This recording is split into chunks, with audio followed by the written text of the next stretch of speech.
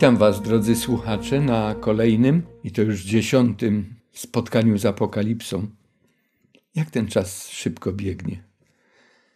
Gratuluję wszystkim wytrwałym, z którymi przebrnęliśmy przez dość trudny, a zarazem jakże interesujący etap zapoznawania się z podstawowymi informacjami na temat Księgi Apokalipsy, a także treścią siedmiu listów naszego Pana adresowanych do jego chrześcijańskiego kościoła. Dzisiaj chciałbym dokonać podsumowania materiału wprowadzającego nas do kolejnych wizji, jakie otrzymał apostoł Jan. Niektóre z tych zagadnień poznaliśmy już wcześniej, a dzisiaj tylko przypominamy, aby je sobie utrwalić i podkreślić ich znaczenie dla dalszego studium. Chciałbym też zwrócić uwagę na kilka jeszcze innych zagadnień, gdyż zauważenie ich i zapoznanie się z nimi pomoże nam w szczegółowym rozważaniu kwestii pieczęci i trąb, o jakich jest mowa w kolejnych rozdziałach Apokalipsy. Przedtem jednak zapraszam Was do skłonienia głów w modlitwie. Stwórco i Panie nasz, dziękujemy Ci za ten szczególny czas, kiedy znowu możemy być razem, możemy otworzyć Twoje słowo, otworzyć nasze umysły, nasze serca na to, co chcesz nam dzisiaj powiedzieć, czego nas chcesz nauczyć. Proszę, niech Duch Twój Święty, który inspirował pisarzy biblijnych, pomoże i nam przy czytaniu tych nieraz trudnych dla nas tekstów. W imieniu Pana Jezusa o to proszę. I dziękuję, że nas słyszysz. Amen. Siedem pieczęci, a nowotestamentowy Kościół. Tak zatytułowałem dzisiejsze nasze spotkanie. Na poprzednim spotkaniu zasygnalizowałem, że dzisiaj zajmiemy się następującymi sprawami. Przypomnienie ogólnej treści rozdziałów od czwartego do siódmego, czasem wydarzeń opisanych w piątym rozdziale, a także strukturą chiastyczną Księgi Objawienia. Zwrócimy uwagę na teksty dwukierunkowe, które występują w Księdze Objawienia. Grono starszych zasiadających na 24 tronach będzie kolejnym zagadnieniem, i wtedy będziemy próbować znaleźć odpowiedź na pytanie, kim są te istoty. Mówić będziemy też o zapieczętowanym zwoju oraz o tym, jakie znaczenie dla Kościoła i dla nas jako jednostek mają wizje towarzyszące zdejmowaniu poszczególnych pieczęci. Rozpocznijmy jednak od treści rozdziałów czwartego do siódmego. Czwarty rozdział to ogólny opis sali tronowej Stwórcy Wszechświata. Piąty rozdział przybliża nam ważne wydarzenie w sali tronowej Króla Wszechświata. Sceny te odnoszą się do dalszej historii świata i Kościoła. Szósty rozdział to seria kolejnych wydarzeń towarzyszących zdejmowaniu sześciu spośród siedmiu pieczęci. Rozdział siódmy zawiera informacje na temat pieczętowania sług Boga na ich czołach, a także przedstawia ich jako zwycięzców na tronach wokół tronu Bożego, wokół tronu Baranka.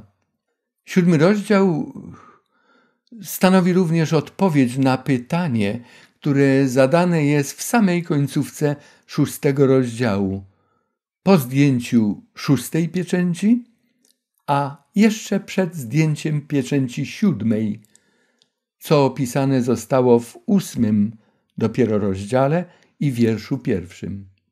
Uroczystość w sali tronowej w niebie, opisywana w piątym rozdziale, zapoczątkowała pasmo wydarzeń dziejących się na ziemi, które doprowadzają do chwalebnego powrotu Jezusa. Przypomnijmy sobie również strukturę literacką Apokalipsy. W trzecim naszym spotkaniu, czy podczas trzeciego spotkania, mówiliśmy, że ta struktura nazywana jest chiastyczną strukturą literacką. Y, Żydzi w tej literaturze apokaliptycznej według innej struktury przedstawiają treści niż ta struktura myślowa, do której myśmy przywykli. My, gdy o czymś mówimy, to wątek rozpoczynamy gdzieś tam od A, powiedzmy, idziemy do B, C, D i tak dalej. Cała sytuacja się rozwija coraz bardziej. Inaczej jest w myśleniu hebrajskim, inaczej jest w strukturze chiastycznej. Chiazma, ta nazwa pochodzi od litery chi, to jest litera greckiego alfabetu, która jest pokazana tutaj na ekranie. Jest to jak gdyby skrzyżowanie z sobą dwóch prostych linii, podobne do rzymskiej dziesiątki, czy też do naszego X. Główna myśl i najważniejsza, wyrażona w strukturze chiastycznej, znajduje się nie na końcu tej opowieści, czy tej wizji, czy tego zdarzenia, ale w samym środku. Tak jak mamy na tym wykresie tutaj pokazane. Myśl rozwija się od A, akurat mamy tutaj strukturę, taką skróconą strukturę chiastyczną samej Księgi Objawienia, i to jest prolog, B, którym zawierają się Boże obietnice, Podane teksty mówią nam, gdzie je znajdujemy. C to jest chwalebny start, czy chwalebny początek Bożego działania w Nowym Testamencie. Później jest punkt D, i to jest ten środkowy, najważniejszy, zawierający główne treści Apokalipsy. To jest wielki bój. I wracamy tą samą drogą, jak budowana była ta struktura aż do punktu głównego D. Później nie będzie E, tylko będzie znowu C primo, B primo i A primo. W tym wykresie widzimy, że te punkty A i A primo, one są tego samego koloru. To samo odnosi się do B, do C. D jest samotne, bo to jest ten środek. A więc w B mamy obietnice dane ludowi Bożemu, w B primo mamy spełnienie tych obietnic. W C jest ten chwalebny początek, a w C primo mamy triumfalny finał. A więc treść nam narastała aż do wielkiego boju, a później po tym podkreśleniu wracamy jak gdyby tym samym szlakiem, jakim narastały te treści. I one znajdują swoje odpowiedniki w tych tekstach biblijnych, które mamy na ekranie. Zagadnienie to dość szeroko omawialiśmy na naszym trzecim spotkaniu, jak wspomniałem, przed studium siedmiu listów do siedmiu zborów. Ta sama struktura, nieco bardziej rozbudowana, również chiastyczna struktura, rozrysowana jest tutaj w taki sposób. Tam mieliśmy w pionie, od góry narastało nam i zawężało aż do punktu krytycznego i później rozszerzało się w dół. Tutaj mamy to w wykresie poziomym. Ale też zwróćmy uwagę, prolog jest na początku i epilog jest na końcu. Podobne do siebie i swoje funkcje pełnią tak, jak zostały nazwane.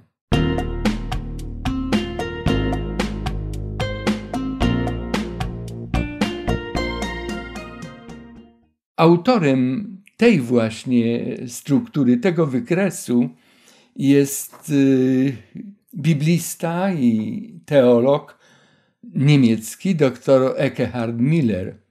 Spotkaliśmy się z nim już wcześniej. On dzieli księgę Apokalipsy na dwie główne części. Ta pionowa, przerywana linia wyznacza nam granice, a więc pierwsza część Apokalipsy to wizje historyczne, druga część to wizje eschatologiczne. Ale wizje historyczne dziejące się na tej ziemi mają odpowiedniki w wizjach eschatologicznych. I tak zobaczmy na ten kolor zielony, te prostokąty zielone, kościół walczący, a tam mamy kościół już triumfujący. Pod B ustawiczne zbawcze działanie Boga i finał tego Bożego działania w postaci sądu. Trąby i ostrzeżenia, złe moce przeciwne Bogu i Jego świętym, które walczą z ludem Bożym i wizjach eschatologicznych czasze plag i osądzenie tych mocy, które walczyły z Bogiem i Jego ludem. Popatrzmy na jeszcze jedną chiastyczną strukturę Księgi Objawienia, w tej chwili już bez wykresu, ale przecież ta struktura jest zaznaczona w postaci tego, tego wcięcia. Ta pierwsza połowa, jak gdybyśmy mieli tej litery hi, tego xa tutaj.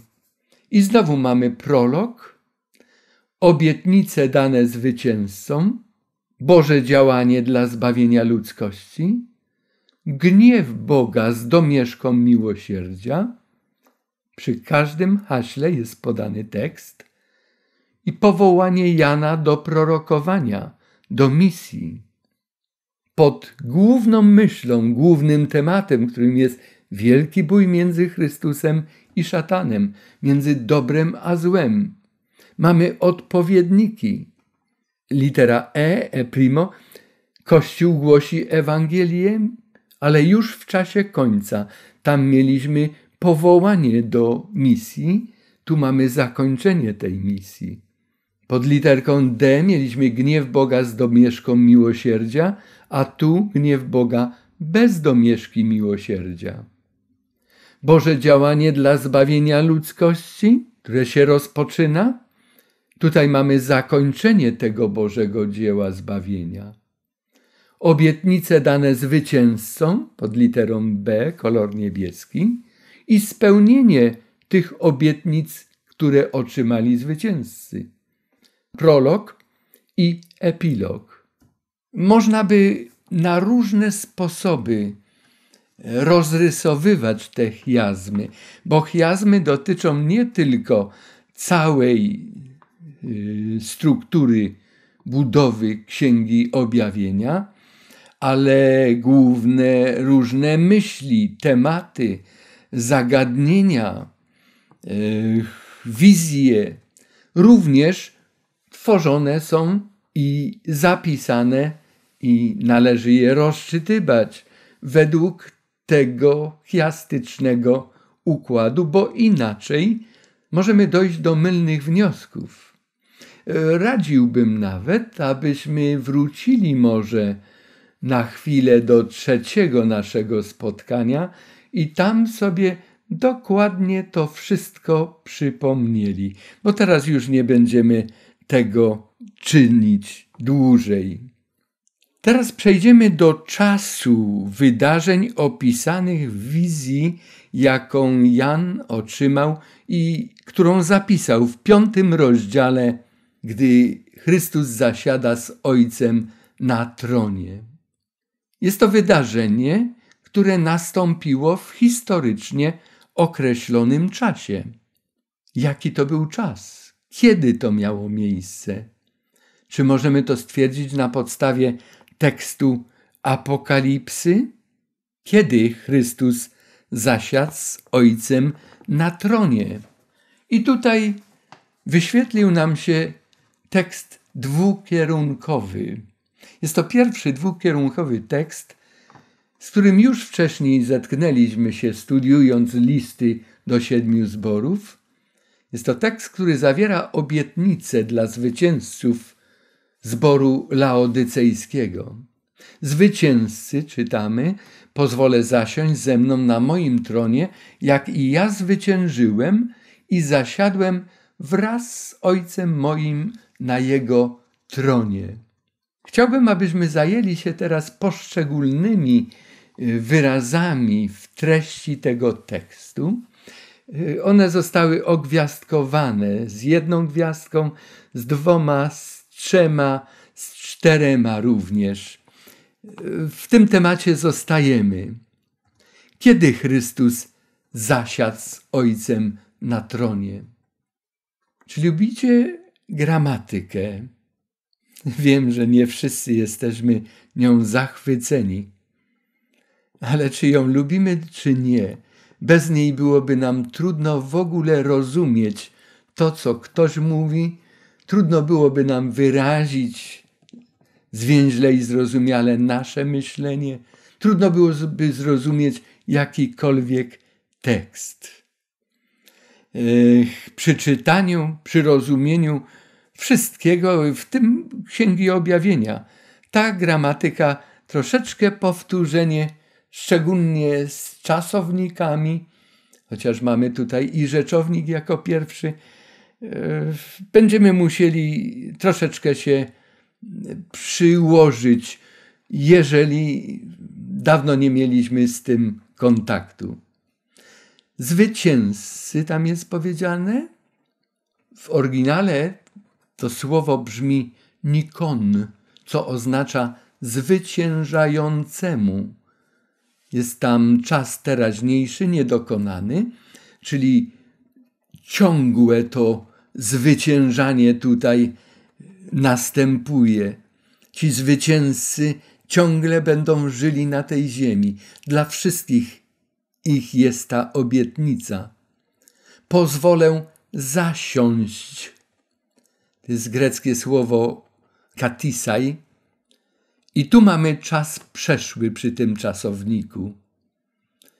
Gdybyśmy odczytali w siódmym rozdziale podane teksty, zresztą do tego dojdziemy, zrozumiemy, jak to się tam wypełniło. I ta struktura chiastyczna właśnie nam już w tej chwili się kłania. Tak jak ja zwyciężyłem, powiedział Chrystus, i tu mamy znowu grecki wyraz tego czasownika, zwyciężyłem, enikesa. Tu mamy czas przeszły dokonany. Czyli gdy Chrystus to mówi, to to już się stało. Chrystus już wtedy był zwycięzcą. I mówi, i usiadłem, ekatisa, również czas przeszły dokonany. Chrystus już wtedy usiadł z Ojcem po Jego prawicy. Wniosek końcowy. Biorąc to pod uwagę, a także to, że Laodycejczycy otrzymali list około 95 roku, może i 96 roku, Chrystus zasiadł ze swoim Ojcem na Jego tronie po swoim wniebowstąpieniu, czyli w 31 roku, popatrzmy, że mamy tu przedział czasowy, którego dotyczy ten tekst, który rozpatrujemy i nadal w tym temacie pozostaniemy.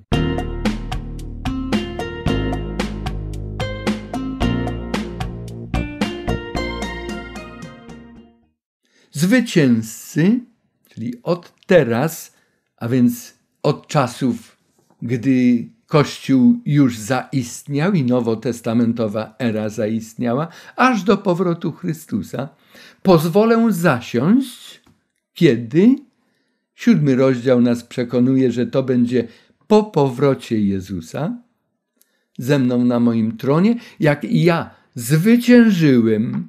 Kiedy? Gdzie? Na Golgocie. W 31 roku naszej ery. I zasiadłem wraz z Ojcem moim na Jego tronie. Kiedy? Po wniebowstąpieniu. To jest również 31 rok. A więc znowu mamy podkreślone, że Chrystus, gdy w 95 czy 6 roku przesyła tę informację i zachętę do zboru w Laodycei, już jest jako zwycięzca i już zasiadł z Ojcem na tronie. Co to oznacza, że Chrystus usiadł na tronie z Ojcem? Usiąść na tronie nie oznacza usiąść i tam siedzieć. Niektórzy wyobrażają sobie, że, że to jest e, po prostu takie siedzenie, odbieranie jak gdyby defilady, jak gdyby odbieranie tylko chwały i nic więcej. Nie, gdy mowa jest o tym, że Chrystus usiadł na tronie, każdy, kto zasiada na tronie, sprawuje władzę. Czytamy w liście do Hebrajczyków, że gdy on, Jezus, złożył raz na zawsze jedną ofiarę za grzechy, kiedy to było? Na Golgocie. Usiadł po prawicy Bożej. Kiedy? Po zmartwychwstaniu.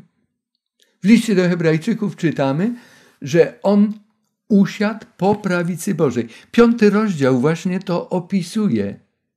Co się stało wtedy, gdy Chrystus usiadł po prawicy Bożej? Główną zaś rzeczą w tym, co mówimy, jest to, napisał apostoł Paweł w liście do Hebrajczyków, że mamy takiego arcykapłana, który usiadł po prawicy tronu majestatu w niebie, jako sługa świątyni i prawdziwego przybytku, który zbudował Pan, a nie człowiek. I objął o tyle znakomitszą służbę, o ile lepszego przymierza jest pośrednikiem, które ustanowione zostało w oparciu o lepsze obietnice. A więc popatrzmy, gdy Chrystus zasiada na tronie po prawicy Bożej, zarazem tym samym obejmuje funkcję arcykapłana w niebiańskiej świątyni. On nie siedzi bezczynnie, on przygotowuje dla nas miejsce jako najwyższy kapłan. Ten sam teolog i biblista Eckhard Miller, który podzielił Księgę Objawienia na tę serię wizji historycznych i eschatologicznych, zauważył jeszcze jedną prawidłowość, która występuje w Apokalipsie. E, poza prologiem i epilogiem, zauważył, że Księga Apokalipsy podzielona jest na osiem części. Każda z nich rozpoczyna się wizją świątyni albo elementów powiązanych ze świątyni, ze świątynią, sprzętów, zachowań lub też nawiązań do służby świątynnej. Każda z tych części czy wizji, poza prologiem i epilogiem, które nie są tak rozbudowane jak one, posiada identyczny układ. Wizja świątyni, proroczy opis wydarzeń historycznych, od wizji drugiej do siódmej dodatkowo ma wstawkę dotyczącą ostatnich wydarzeń i kulminację oraz finał wielkiego boju dobra ze złem. Części pierwsza do czwartej znajdują się i dotyczą wydarzeń historycznych tutaj na tej ziemi, w których biorą udział ludzie. Części od piątej do ósmej to są wizje, które dotyczą wydarzeń eschatologicznych, a więc związanych z czasem końca, realizowanych przez Pana na ziemi i realizowanych również w niebie.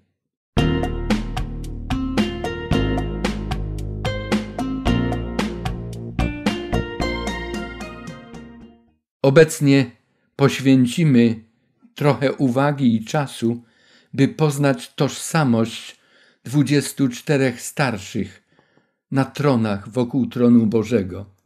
Zajmiemy się też tożsamością zapieczętowanej księgi zwoju. Zadamy sobie pytanie, kogo i czego dotyczą wydarzenia następujące podczas zdejmowania pieczęci ze zwoju. I wreszcie będziemy mówili o pieczęciach i o Kościele Bożym na świecie i o nas indywidualnie. Charakterystyka dwudziestu czterech starszych. Starzec, bo tak nieraz oddane jest w tym tekście określenie tych postaci, dwudziestu czterech starców, to po grecku archaios albo geron, palaios, to znaczy stary, wiekowy, jakościowo stary, zniszczony może odnosić się nie tylko do ludzi czy istot ożywionych, ale i do materiałów. Tutaj natomiast, gdy mowa jest o tych dwudziestu czterech starszych, występuje inne słowo presbiteros. Presbiter, starszy w znaczeniu doświadczony, bardzo często przełożony, z dużą mądrością. Rdzeniem, liczbą wyjściową dla liczby 24 w Apokalipsie jest liczba 12. A więc 24 to jest 12 dodać 12. Apokalipsa wymienia wiele istotnych cyfr i liczb. 1, 3, 4, 6, 7, 12, 144 tysiące. Czy grupa starszych jest sumą dwóch grup, dwóch jakichś dwunastek? Czy może ma też jakiś związek ze 144 tysiącami? Bo 144 tysiące to 12 do kwadratu, inaczej 12 razy 12 razy 1000. Czy może ma związek z Nowym Jeruzalem, gdzie czytamy o dwunastu fundamentach i o dwunastu bramach? A może liczba ta ma związek z dwudziestoma czterema zmianami służby kapłanów w Starym Testamencie, w świątyni? Całe to numeryczne tło jest bardzo interesujące, ale wydaje się, że to nie rozwiązuje i nie daje nam odpowiedzi na pytanie, któreśmy sobie postawili. Jeszcze kolejny szczegół. 24 starców zasiada na 24 tronach wokół tronu Boga. To znowu przypomina nam tekst z trzeciego rozdziału, wiersz 21, ten tekst dwukierunkowy, o, tu powinienem dopowiedzieć, dlaczego dwukierunkowy. Bo są takie teksty, jest ich kilka w Apokalipsie, które gdy kończy się jakaś określona, ważna czy wizja, czy część, ten tekst sumuje to, co było do tej pory, podkreśla, ale również wskazuje na przyszłość, wskazuje kierunek, w którym podążamy. Niektórzy Y, bibliści nazywają taki tekst trampoliną. To jest jak próg, z którego można się odbić, ale w tę stronę, w tym kierunku, w jakim on sam swoją treścią już nas prowadzi. Niektóre manuskrypty podają, że 24 starszych to ród królewski i kapłański, odkupieni z tej ziemi. Y, takie słowa przeczytamy w piątym rozdziale, wierszach dziewiątym i dziesiątym w tłumaczeniu według Biblii Gdańskiej. Warto jednak zwrócić uwagę, że tę samą pieśń co 24 starszych śpiewają też cztery istoty, które nie są odkupionymi z ziemi i nie będą, jak zbawieni, królować na tej ziemi. A więc powtórzmy sobie te informacje najważniejsze o 24 starszych. Ich liczba oparta jest na module 12. Zasiadają na 24 tronach, każdy na tronie dla niego przeznaczonym. Ubrani są w białe szaty. Takie szaty ofiarowane były wierzącym w Sardes i w Laodycei, a także duszom zabitym pod ołtarzem, o czym czytamy w szóstym rozdziale, od wiersza dziewiątego do jedenastego. wielki tłum odkupionych, jaki Jan ogląda w siódmym rozdziale i pisze w wierszu dziewiątym o nich, także ubrany jest w białe szaty. W Apokalipsie ubiór ten konsekwentnie należy do zbawionych. Kim są ci starsi? Dwudziestu czterech starszych ma korony Stefanos. W języku greckim rozróżniane są dwa rodzaje koron. Stefanos to jest korona zwycięzcy i diadema to jest korona, którą urzędowo nosi na przykład król. Podane teksty z Apokalipsy mówią nam o miejscach, gdzie jest mowa o Stefanos. Korona Stefanos jako laur zwycięzcy należy także do Jezusa Chrystusa. Czytamy o tym zarówno w Ewangeliach, jak też w liście do Hebrajczyków i w Apokalipsie.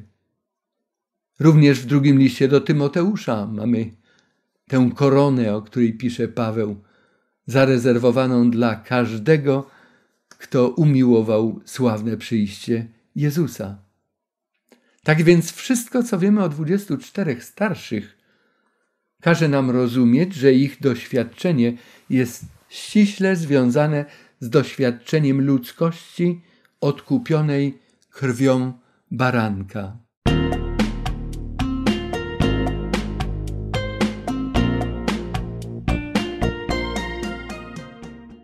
Jeśli starsi pochodzą z tej ziemi, to dlaczego są przed tronem Boga przed powtórnym przyjściem Jezusa? Dlaczego są w niebie, a nie na ziemi? Mówiliśmy, że wydarzenia opisane w piątym rozdziale działy się właśnie po wniebowstąpieniu Jezusa Chrystusa, po tym, jak zwyciężył na Golgocie. I tam ci starsi już się znajdują.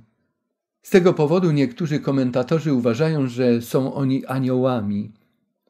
Chociaż gdybyśmy przyjęli taki pogląd, to natkniemy się na poważne problemy, ponieważ nigdzie i nigdy w Starym i ani w Nowym Testamencie aniołowie nie zasiadają na tronach, nigdzie też nie są nazwani starszymi.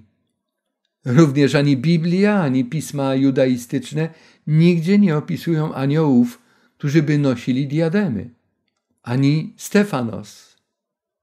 Taki opis jest charakterystyczny dla opisu zbawionych ludzi. Wobec tego, kim są ci 24 starsi? Wydaje się, że najlepszym wyjaśnieniem jest przyjęcie, że chodzi tutaj o przedstawienie reprezentantów odkupionej ludzkości. Reprezentanci przywództwa Kościoła ze Starego i Nowego Testamentu. Może przedstawiciele dwunastu pokoleń i dwunastu apostołów, niekoniecznie protoplaści tych pokoleń, czy apostołowie. Apostołowie jeszcze pozostali na tej ziemi, gdy dwudziestu czterech starszych już zasiadało w niebie. Ale zwróćmy uwagę, tutaj mamy ten moduł 12, gdybyśmy tak to ujęli ze Starego i z Nowego Testamentu, to mamy tę liczbę 24. Ale czy to jest właściwe rozumowanie? Porównajmy też opis Nowego Jeruzalemu. 12 bram znaczy 12 pokoleń izraelskich. 12 fundamentów znaczy 12 apostołów. Jeśli to są ludzie z martwych wzbudzeni, zwycięzcy z tej ziemi, to którzy i kiedy zabrano ich do nieba.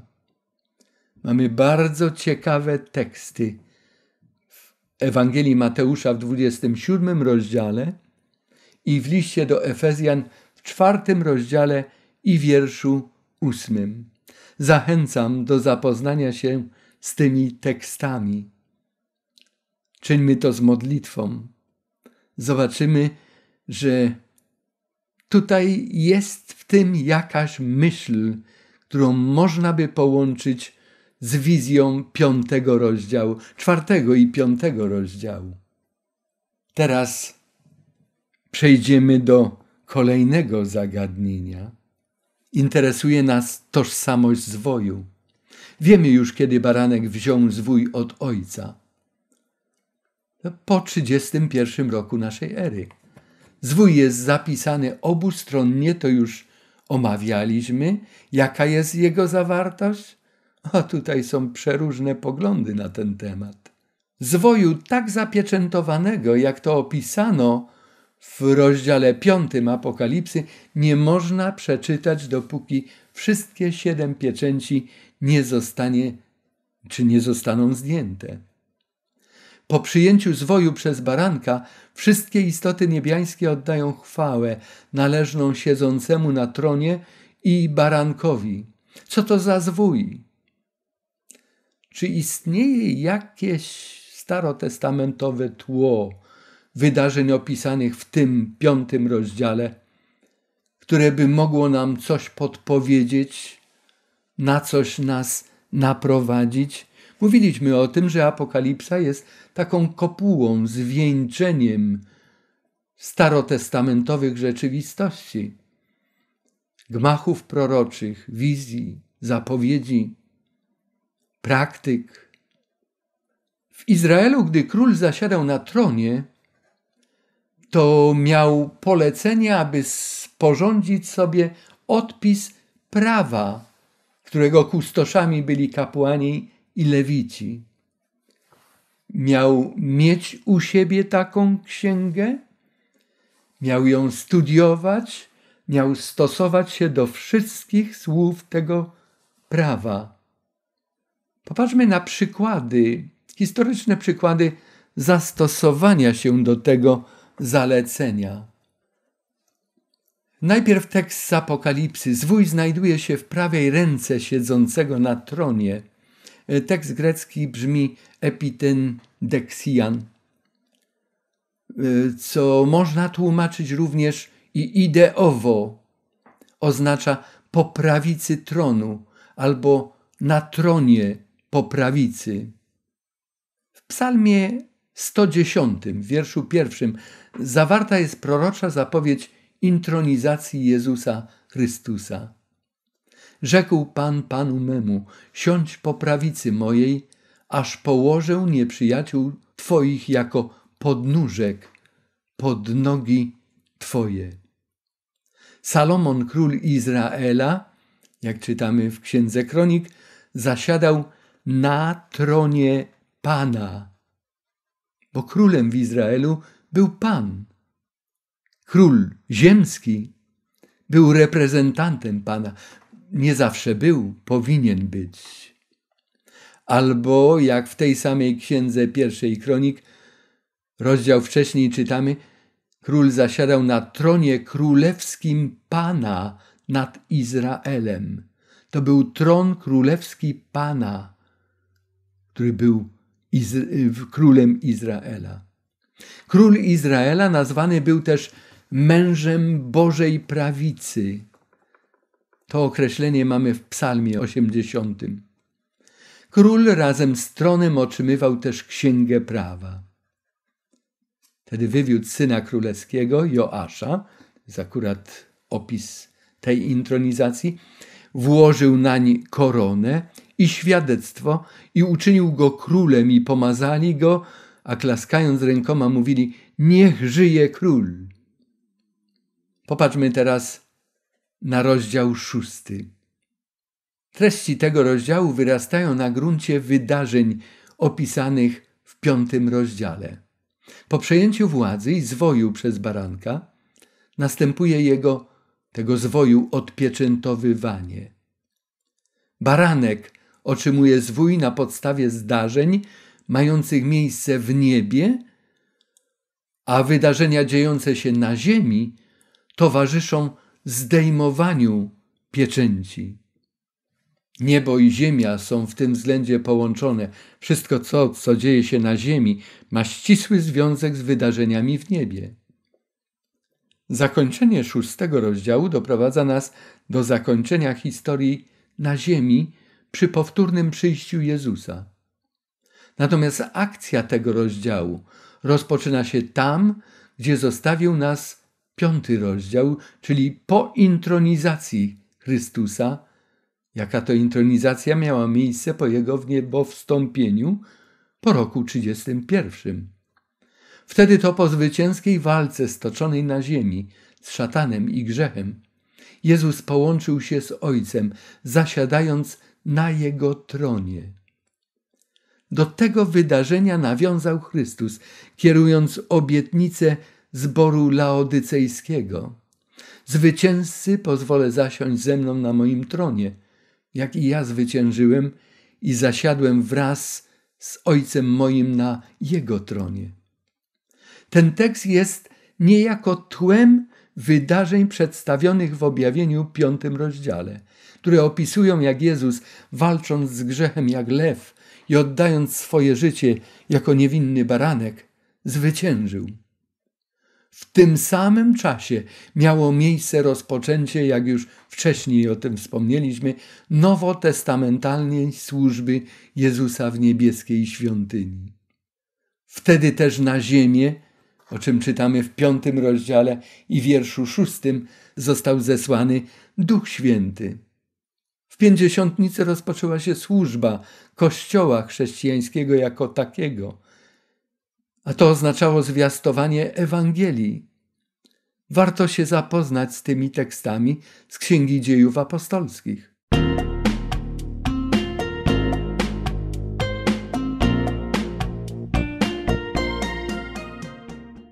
Zasada ustanawiania i intronizowania króla w Izraelu znalazła swoje spełnienie w opisie intronizacji Jezusa. Te dwa elementy, tron, czyli panowanie, i zwój, są nierozdzielne i bardzo ważne. Gdy zasiądzie na swoim królewskim tronie, niech sporządzi sobie na zwoju odpis tego prawa od kapłanów Lewitów.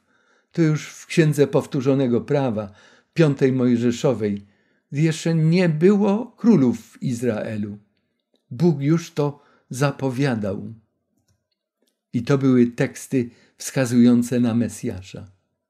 Słownictwo, z którym mamy do czynienia w rozdziale szóstym, jest charakterystyczne też dla języka przymierza, o jakim czytamy w Starym Testamencie, szczególnie w księgach kapłańskich, w 26 rozdziale i Księdze Powtórzonego Prawa w rozdziale 32. Te zagadnienia przymierza szeroko omawialiśmy na poprzednich spotkaniach. A więc już rozumiemy, że wydarzenia opisane w rozdziałach 5 i 6 dotyczą okresu pomiędzy wniebowstąpieniem Chrystusa i Jego powrotem, Jego powtórnym przyjściem. Zasadniczym tłem wydarzeń tutaj opisanych, czyli w rozdziałach 5 i 6, jest przymierze, a dokładniej konsekwencje następujące w wyniku złamania przymierza przez lud Boży. Przekleństwa przymierza działały w dwóch kierunkach. Jak wiemy, przymierze zawierało obietnice i przekleństwa, kary. Obietnice dla ludu Bożego, który będzie współpracował z Bogiem, będzie mu wierzył, ufał, szedł za jego radami. Same błogosławieństwa będą towarzyszyły takiemu człowiekowi i takiemu narodowi. Ale gdy człowiek odwraca się od Boga, nie chce Jego kierownictwa, zwraca się w inne strony, zwraca się nawet sam do siebie. Wtedy Bóg mu na to pozwala. Ale rozpoczynają się nieszczęścia, bo bez opieki Bożej, bez Jego ochrony, bez straży Jego świętych aniołów, bez wsparcia i tego, jak Biblia nazywa, podszeptu Ducha Świętego Człowiek jest zgubiony. I te przekleństwa przymierza działały w dwóch kierunkach. Przeciwko ludowi przymierza, który mu się sprzeniewierzył, i przeciwko ludziom, którzy stawali się wtedy jak gdyby wykonawcami tego karania, ale czynili to z taką żarliwością i gorliwością i tak ponad miarę, że to zakrawało na okrutne postępowanie. Te zagadnienia też, o ile pamiętacie, omawialiśmy na przykładach biblijnych. A teraz zwróćmy uwagę na wydarzenia, które towarzyszą zdejmowaniu pieczęci. Czy wydarzenia te opisują sądy Boga nad niewiernymi, czy też dotyczą one Chrystusa i Jego ludu na tym świecie? Odwołując się do tekstów tła starotestamentowego, należałoby rozumieć, że chodzi tutaj głównie o lud przymierza, szczególnie w przypadku aktywności pokazanej przy otwarciu pierwszych czterech pieczęci, gdy ukazują się czterej jeźdźcy. Wojny, głody, mory to nieszczęścia apokaliptyczne, które dotykają niewierny lud. Jednak w tych opisach są też wydarzenia wskazujące na sądy, które dotykają również ludzi spoza grona chwalców Boga. Opisane wydarzenia przemawiają za tym, że mamy tutaj do czynienia z Kościołem Bożym w tym świecie, Kościołem uczestniczącym w takich warunkach, jakie na tej ziemi istnieją. Wydarzenia rozdziału szóstego kształtują okoliczności życia i walki duchowej chrześcijan, którzy w różnym czasie, w różnych warunkach będą jednak odnosić zwycięstwa. Mottem rozdziału szóstego moglibyśmy okrzyknąć ten tekst dwukierunkowy. Kto zwycięży, zasiądzie ze mną na moim tronie, jak i ja zwyciężyłem i usiadłem z Ojcem moim na tronie Jego. Jaką naturę, jaki charakter noszą te pieczęcie? Szósty rozdział objawienia nakreśla ustawiczne zmaganie się ludu Bożego nie tylko o przetrwanie, ale jak mówiliśmy, o ostateczne zwycięstwo. To jest ich celem, to jest ich pragnieniem, to jest ich dążeniem. Zwycięstwo Ewangelii w ich osobistym życiu oraz w życiu ludzi, którzy nadal jeszcze znajdują się w królestwie ciemności. Ludzi, którzy nie znają Boga ani mocy Ewangelii. Dlatego, że lud Boży wierny Bogu wykonuje to dzieło misyjne zapoczątkowane przez Jezusa. Rozdział piąty mówi o przejęciu królestwa przez Chrystusa. Jednak trzeba nam zwrócić uwagę, że królowanie to jest jeszcze w tamtym czasie, jeszcze obecnie nawet ograniczone. Dotyczy ono wszechświata. Jednak za wyjątkiem, za wyjątkiem naszej ziemi. Wizja pieczęci ukazuje, jak Bóg i Jego prawda wkraczają jednak w królestwo szatana, jak stopniowo postępuje niszczenie Jego złego wpływu w umysłach, na sercach i w życiu tych, którzy zaufali Bogu. Będąc na ziemi, Jezus dokonywał osobiście tego i bezpośrednio, a obecnie czyni to poprzez Ducha Świętego i swoją oblubienicę, swój wierny lud, swoje królewskie kapłaństwo, o czym czytamy i w piątym rozdziale Apokalipsy, i w dwudziestym drugim rozdziale, gdzie jest to piękne oświadczenie, a duch i oblubienica mówią przyjdź. A kto słyszy, niech rzecze przyjdź, a kto przyjdzie, niech korzysta z tej wody życia darmo. Podobne treści znajdujemy w pierwszym liście Piotra, w drugim rozdziale, wierszu dziewiątym.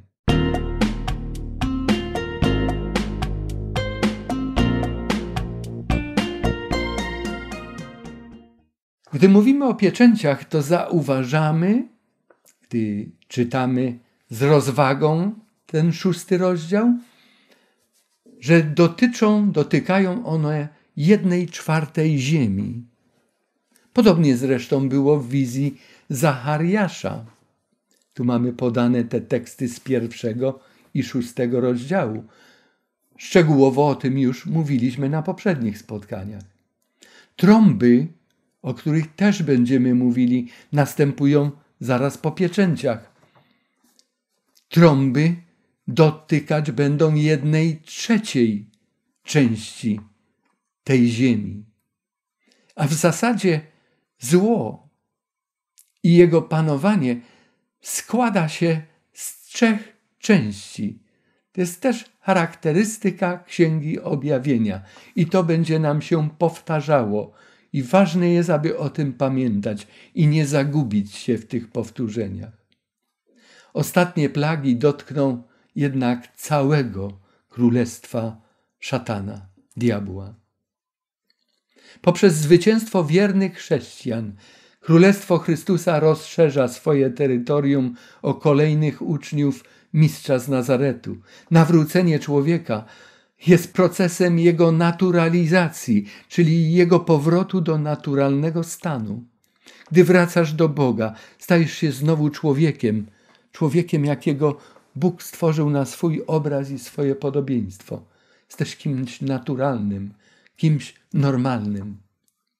Zanim zakończy się wielki bój pomiędzy szatanem i Bogiem, bój o ciebie, o każdego człowieka, każdy mieszkaniec tej zbuntowanej planety będzie mógł zadecydować o swoim życiu tutaj i teraz, a także o swojej wiecznej przyszłości.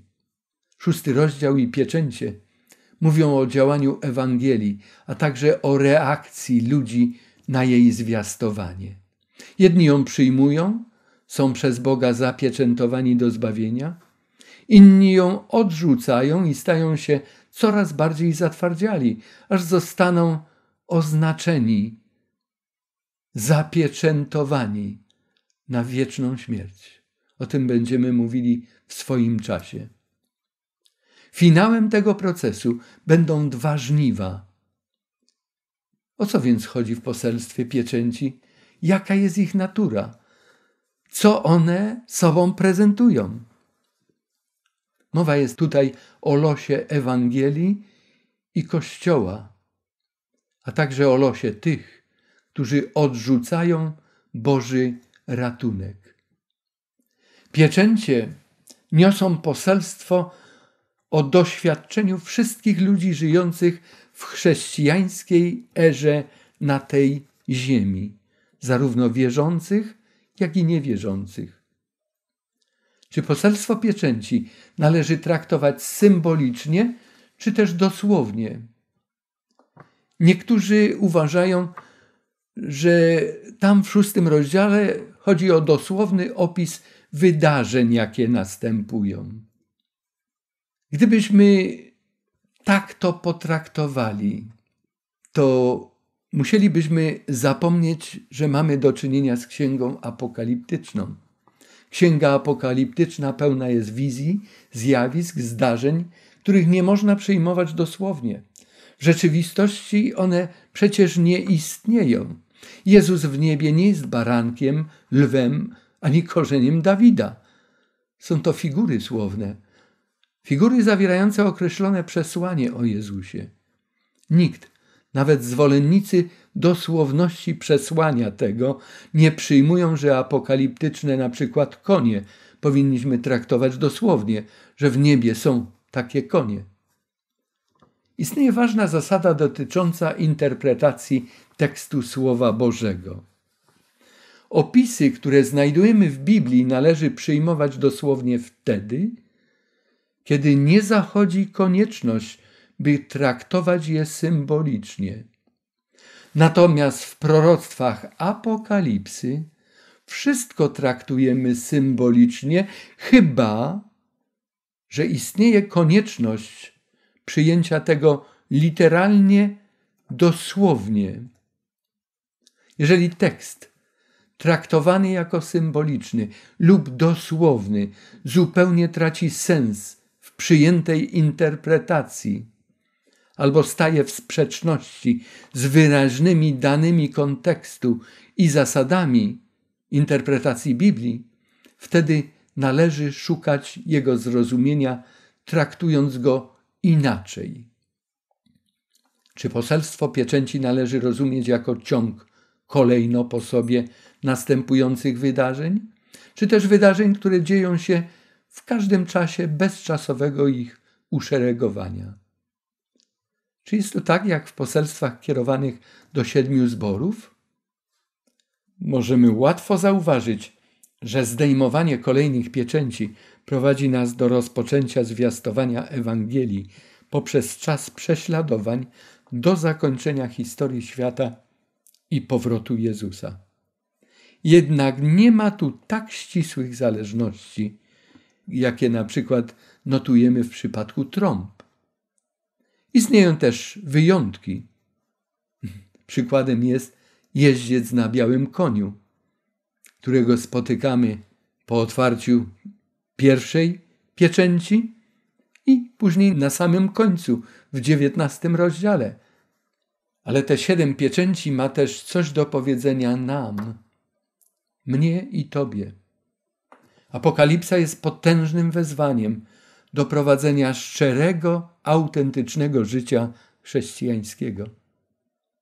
Czy jest taki obszar w Twoim życiu, który potrzebuje takiego bodźca? Kilka ważnych spraw, których nie wolno nam pominąć dzisiaj na spotkaniu. Objawienie ma wiele do powiedzenia Kościołowi Bożemu, tak w odniesieniu do całości, jak też do poszczególnych epok i okoliczności jego istnienia. Ale przede wszystkim jest to księga zawierająca bardzo osobiste przesłania. Pamiętamy te słowa? Kto ma uszy, niechaj słucha, co duch mówi zborom. Bóg nawołuje nas do szczerości i autentyzmu w naszej relacji z Nim. Ostrzega przed kompromisem z grzechem, wzywa do wierności i do nawrócenia.